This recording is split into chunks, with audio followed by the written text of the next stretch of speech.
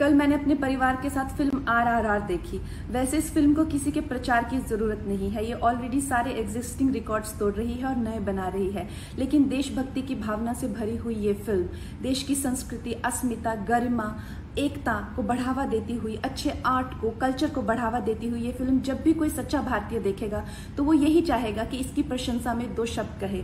तो जो ये सदर्न के दो हीरोज हमारे स्वतंत्रता सेनानी हुए हैं, भीम और राम, इनकी ये कहानी देख के हमें ये लगता है कि ऐसे ना जाने कितने अनसंग हीरोज रहे होंगे। लेकिन आज की दुनिया में भी ऐसे बहुत सारे अनसंग हीरोज हैं जिनके बारे में मेन स्ट्रीम मीडिया आपको कभी नहीं बताएगी।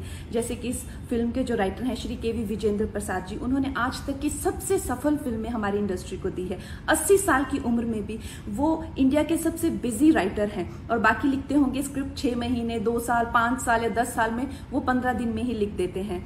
और उनको जब भी मिलते हैं तो ऐसा पूरा इंसान पैशन से भर जाता है। और मुझे लगता है कि हमारी इंडस्ट्री में उनसे ज़्यादा पद्म विभूषण या उससे भी बढ़ के कोई सम्मान होता है, वो डिजर्व नहीं करता।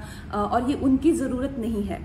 ये हमारी ज़रूरत है। हम युवाओं की ज़रूरत है कि हमारे पास ऐसे आदर्श हों ताकि आगे चलकर इंडस्ट्री में ऐसे और लोग आए। बाकी इस फ़िल्म के हर कलाकार ने बहुत अच्छा काम किया है।